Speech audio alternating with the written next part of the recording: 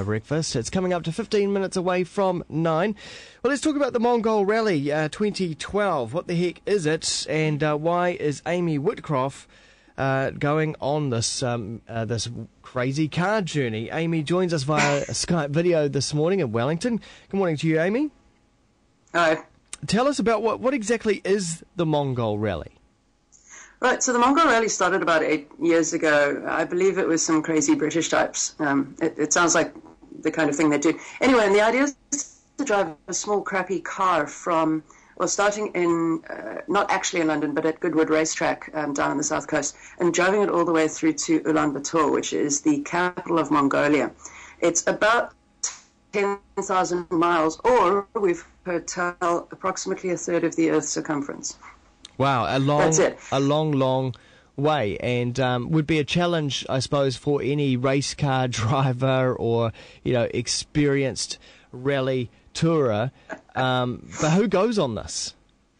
Um, this is everybody. Apparently, the median age is somewhere around 31, but but people of all age groups. And the idea is, it's it's widely regarded as a relatively stupid thing to do, and it is a charity fundraiser. They've raised, I think it's almost two million pounds or something like that for charity so far. Um, but it's anybody who'd like to do something a bit interesting, and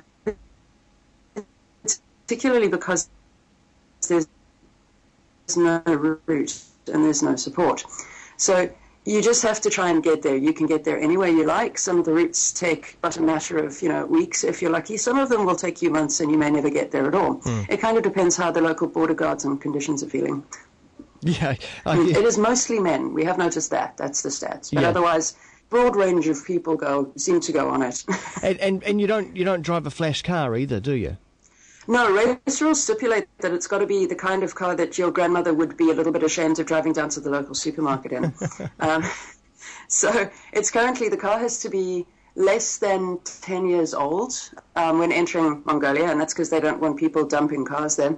Um, but otherwise, 1.2 litres or Less. Uh, we've got a 1.3 Jimny, which is this tiny little 4x4, and they're allowing us to drive that. But um, you can get around it by driving either 125cc motorcycles or by driving um, a small number of emergency vehicles that the Mongolian government needs every year. So every year people try to get there in fire trucks and ambulances as oh. well.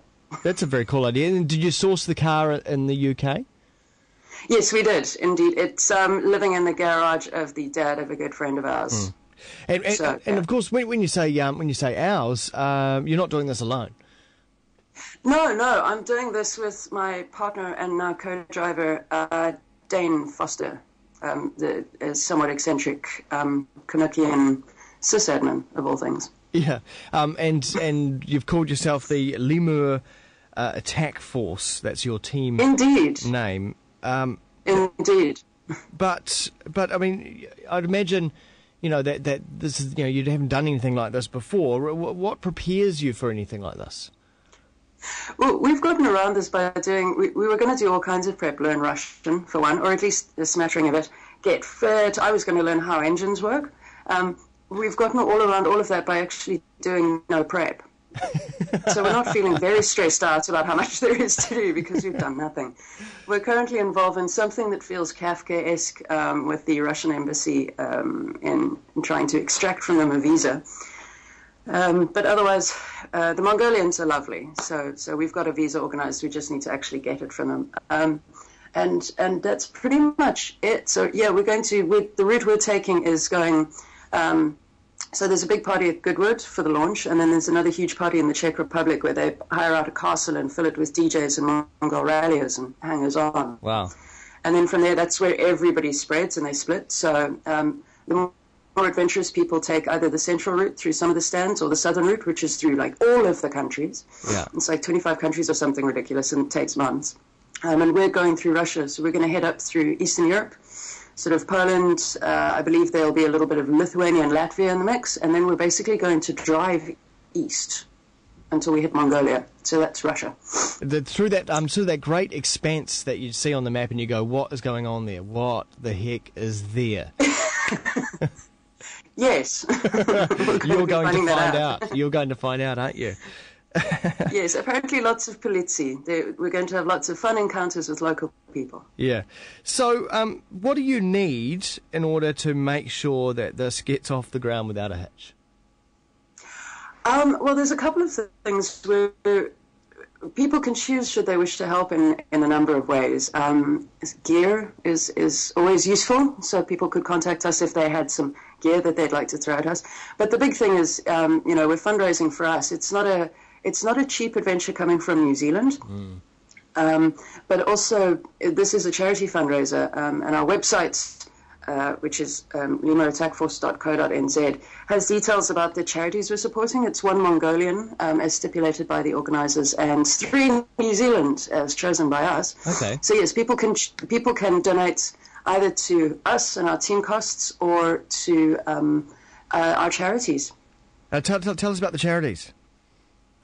So we're supporting um, the the Mongolian charity is the Lotus Children's Center Trust. It's something. Sorry, it's something close to that. You can tell I've not had coffee yet. Ch- charitable um, and trust, that's yeah. helping. Mm. Yeah, yeah, yeah, and that's helping kids in Mongolia get you know educated and fed and sheltered and stuff. So yeah. that's pretty laudable. And um, then the New Zealand ones we chose um, uh, the Richard Christchurch appeal. That's the Red Cross. Of course, because that's kind of a big deal. Earthquake appeal. Yep, yep. And yep. and the other and one? we chose. Yep, we chose two more. Um, the SPCA. Yep. Because uh, animals often get forgotten about, and Women's Refuge Wellington. Cool. Yeah. Okay. So, Great. so people are encouraged to to help out with those if they would like to. So uh, some great charities there. So so you can donate obviously uh, money. All the details at lemurattackforce.co.nz. Um, gear would be helpful as well. Um, I'm sure there's a list of certain certain things that you perhaps need up there on that website. Um, Mm-hmm. Wow. So six weeks away is when you depart. Yeah. Yeah, um, absolutely. We're, we're going to have a, a, wee bit of a shindig at the end of June as a sort of launch meet our mascots because we've had two beautiful mascots made for us by a local artist. Meet the mascots and kind of launch us off into the chaos of, of July as we panic and the visas fall over. Something like that. yeah. well, one, one thing you can count on it. Nothing. So, um, I mean, it won't, won't, I'm sure it'll it'll you know all happen and you'll get there, but there are going to be some trials along the way. I think you can count on that. Uh, prepare for Pretty that. much. It's, it, the, the organisers do say, look, if, if you want to go on a holiday that's not going to stress you out, where things are going to go to plan, don't do this one. Well, um, you're very, very brave, and uh, we look forward to following your progress. Now, I guess you'll be all techni- as technically hooked up as you can, so you can keep people um, informed along the way. Yeah. Yeah, well, I mean, that's the thing. We, we reckon we're probably one of the geekier teams ever to do it. So we're, we're, we're using the power of technology instead of the power of learning languages, for example. Yeah. Um, but yeah, we're going to be sending in. Well, I'm I'm a science blogger or blogger in my spare time, so I'm going to try and be writing stuff around that while we travel. But um, we'll also be sending in Twitter updates and things. And the cool thing is that the adventurists, the um, the organisers of this, um, have a map. And they map where people are according Cool. to the geotags for the updates that they get. So you can see, and they send out newsletters with all the stories and stuff. So yes, one can stalk the happenings um, quite a lot. Fantastic. I'll definitely I'll be glued to it. Aimee, thanks so much for uh, joining us today, telling us all about the Mongol Rally. Uh, that website again, lemurattackforce.co.nz. Aimee Whitcroft, thanks. Cool. Thank you so much.